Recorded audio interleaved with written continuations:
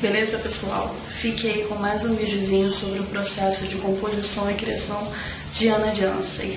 É nóis!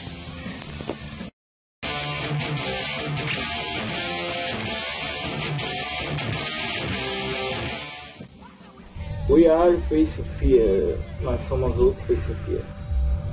Música, a letra foi feita pelo Terry Penqueira e ela fala sobre todo o poder da banda de conquistar as pessoas com o nosso rock and roll.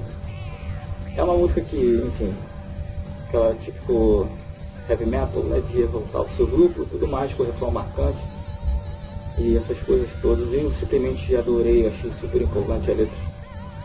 E eu falei, vamos fazer algo com ela.